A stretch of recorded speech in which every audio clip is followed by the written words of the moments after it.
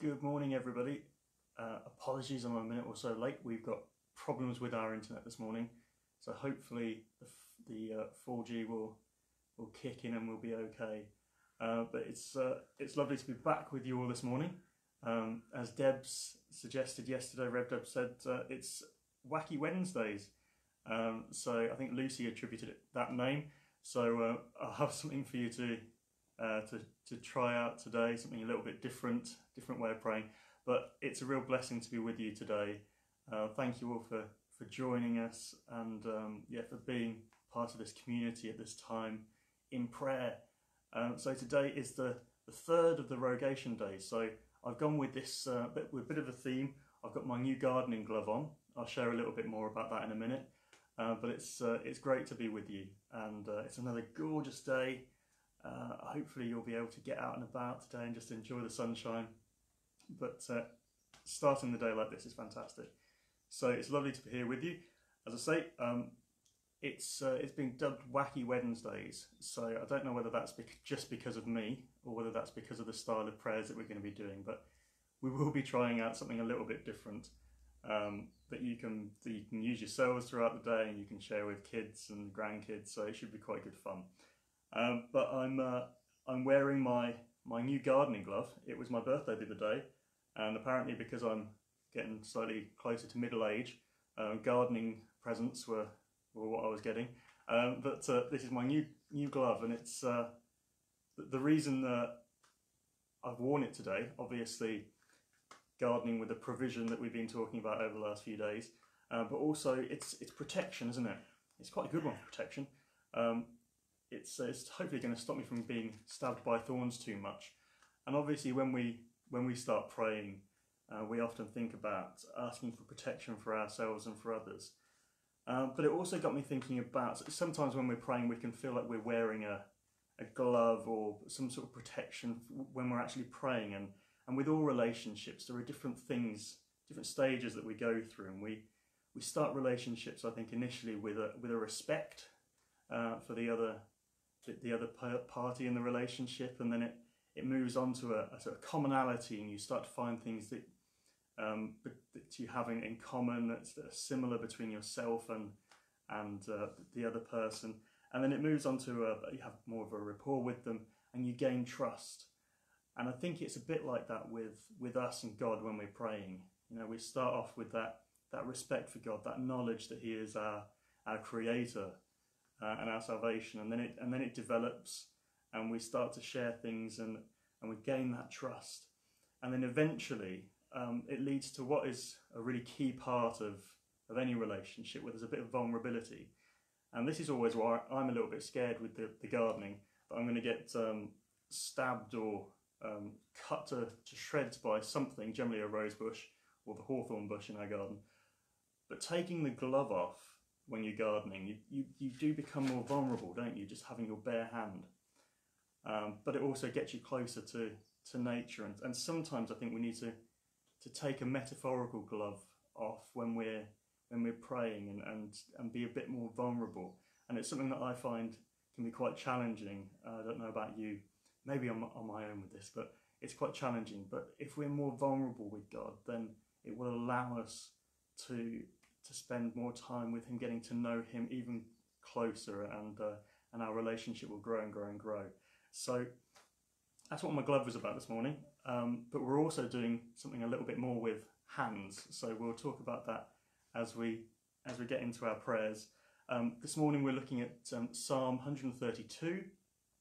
If you would like to get your finger in in, in the Bible and uh, hold it in there, ready for to flip to the page, and then we're carrying on with Luke's Gospel. We're looking at chapter seven, uh, verses one to ten, uh, which is quite good fun for me because not only was like what we're following on from uh, earlier this week.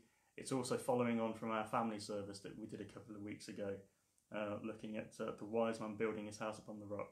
And so we'll, we'll, look at that in a few moments. But let's let's start together in prayer. I'm going to start with something a short prayer from the Northumbria community before we continue with the common worship. And so let's pray together. Calm me, O Lord, as you stilled the storm. Still me, Lord, and keep me from harm. Let all the turmoil within me cease. Enfold me, Lord, in your peace. The Lord is good, a strong refuge when, when trouble comes. God is close to those who trust in him. Lord, open our lips, and our mouth shall proclaim your praise. In your resurrection, Christ, let heaven and earth rejoice. Blessed are you, Lord God of our salvation. To you be praise and glory forever. As once you ransomed your people from Egypt and led them to freedom in the promised land, so now you have delivered us from the dominion of darkness and brought us into the kingdom of your risen Son. May we, the first fruits of your new creation, rejoice in this new day you have made and praise you for your mighty acts. Blessed be God, Father, Son, and Holy Spirit. Blessed be God forever. The night has passed, and the day lies open before us. Let us pray with one heart and mind.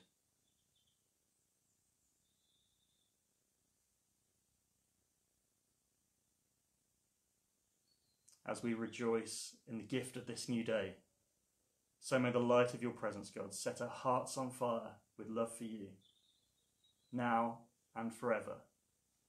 Amen.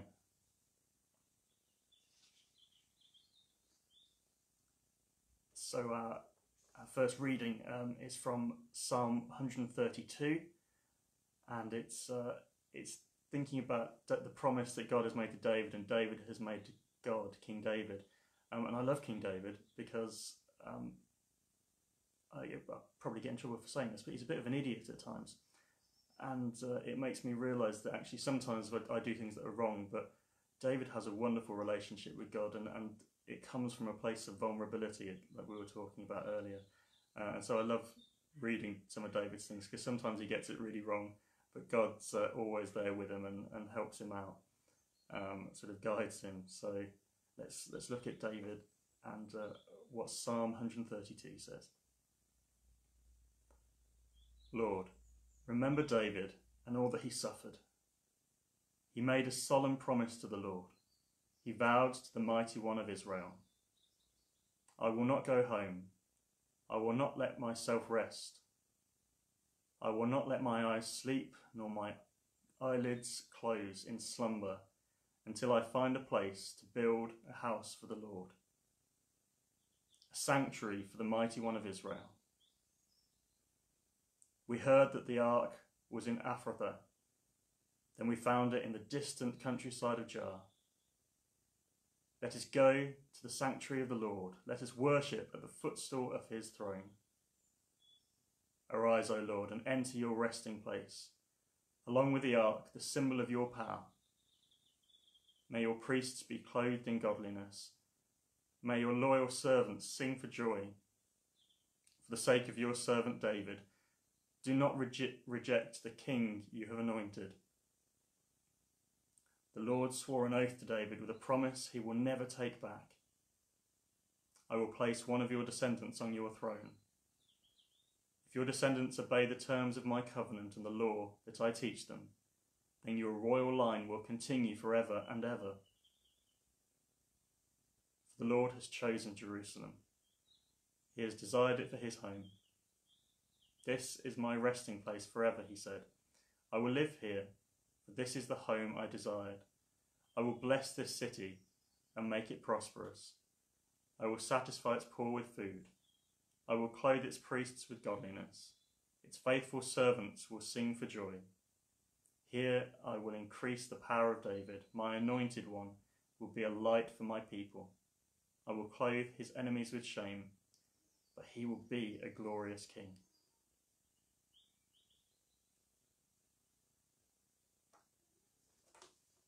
And then our gospel reading is from Luke's Gospel, chapter 7, verses 1 to 10. And it's an incredible one, really. It's brilliant. It's uh, it's all about faith. And what I love is there's a little bit of a surprise in this, and the surprise is that uh, Jesus is amazed. Jesus is surprised. He's maybe not caught off guard, but he has a nice surprise in the, in the faith that uh, the Roman centurion has. And so let's read this together. It's Luke chapter 7, verses 1 to 10. When Jesus had finished saying all this to the people, he returned to Capernaum. At that time, the highly valued slave of a Roman officer was sick and near death. When the officer heard about Jesus, he sent some respected Jewish elders to ask him to come and heal his slave. So they earnestly begged Jesus to help the man. If anyone deserves your help, he does, they said, for he loves the Jewish people and even built a synagogue for us. So Jesus went with them. But just before they arrived at the house, the officer sent some friends to say, Lord, don't trouble yourself by coming to my home, for I am not worthy of such an honour. I am not even worthy to come and meet you. Just say the word from where you are, and my servant will be healed.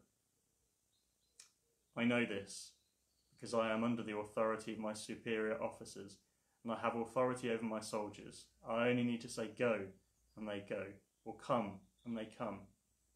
And if I say to my slaves, do this, they do it. When Jesus heard this, he was amazed. Turning to the crowd that followed him, he said, I tell you, I haven't seen faith like this in all Israel. And when the officer's friends returned to his house, they found the slave completely healed.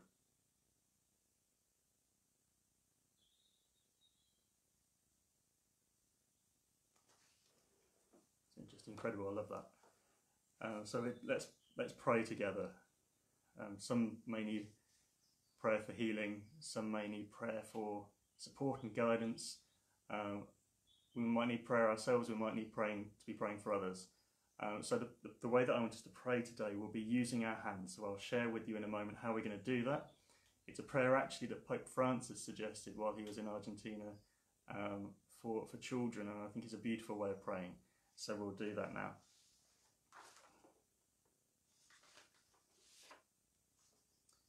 Almighty and everlasting God, we thank you that you have brought us safely to the beginning of this day. Keep us from falling into sin or running into danger. Order us in all our doings and guide us to do always what is righteous in your sight. Through Jesus Christ our Lord. Amen. So, as I say, this is Pope Francis' prayer, um, way of praying, a five finger prayer. So, I'd like you to hold out your hand. You can just in front of you, so you're looking at it. You don't have to be high fiving like I'm doing. But hold out your hand because this is what we're going to be using to pray. Now, with, with our hand, our thumb is the closest to us.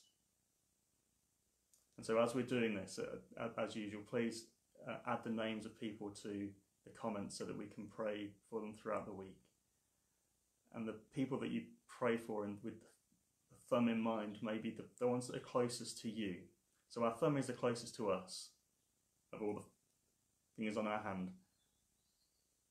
And so let's pray for those closest to us, those who we live with, those who we see most often, those who actually may be geographically quite a long way away.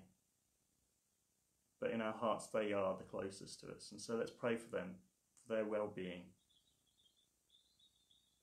for their relationship with God, for their health, both physical and mental and spiritual We pray that God will be with them today. We pray that they know how much they're loved. And we pray, Lord God, that you will help us to send them the right messages, speak to them at the right time, give them the right words of encouragement. So we pray for all those who are closest. Amen. Uh, next finger along, this is our index finger. And already I'm having to tell, tell our kids not to point at people. but it is the pointer people refer to, isn't it? It's our index finger. And so we pray for all those people who point us in the right direction. We pray for all of those who have an opportunity to guide us, whether that is teachers in schools, whether it's doctors, whether it's members of the clergy, whether it's leaders in other forms that help us personally and point us in the right direction, whichever way that might be. but we pray for them, for wisdom and for support. And you'll know exactly who it is in your life who, who gives you that, that direction. So pray for them now. That God guides them, gives them the right words to say as well. We pray this in Jesus' name. Amen. Now, our middle finger is the, the tallest, as you can see. And so in this prayer, it represents those who have authority to make decisions, those who are making an impact on our lives. And so, Lord Jesus, we pray for all those who are who are in government, all those who are key in making decisions about the NHS currently, all those who are key in making decisions that impact not just ourselves but others around the world. And so we pray for all those who have the weight of that on their shoulders. That, Father God, you will just bless them that you will reveal yourself more to them. And so let's pray for all leadership, all those in government, all those who are keeping them honest. We pray for all of them now around the world. Amen. Now, it might surprise you that our ring finger is actually the weakest of our fingers. It's uh, it hasn't got the strength of the others, and so when we think about our ring finger here, we think about the weakest in our society, those who haven't got the strength. So, Lord God, we pray in particular for those who are in trouble, those who are in situations that are difficult at this time and cannot see a way of getting out of them. We pray that you will be in that situation, that you will guide us or others to support them. We'll pray for children who they may, may be strong in many ways, maybe weak in others. We pray that you will bless them, Lord God, at this time in particular. And we pray for those who are in trouble, that have got themselves into trouble or or are just in a situation which is just so difficult, it's almost unavoidable. Bless them, Lord God. Help them to know that they are not alone. Amen. And then our little finger is the smallest one. It's the one that comes last, but it's the one that's going to represent us today. Let's pray for ourselves. Let's pray for our own needs. Let's pray possibly with a, a new vulnerability that God will give us what we need today, support us in everything that we need supporting in. help us to support others, but give us strength to do that. And so we thank you, Lord God, for all those who we've, we've prayed for using our our five finger prayer. And we pray that you will bless all of us throughout this day. Amen.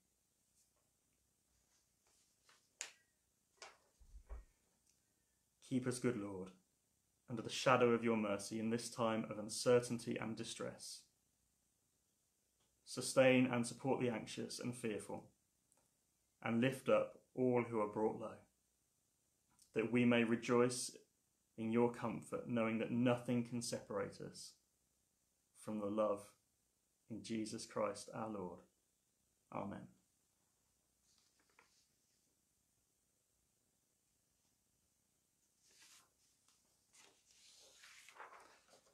And so we're going to finish today by saying the Lord's Prayer that Jesus taught us as a, a way of, of interacting and building relationship with God.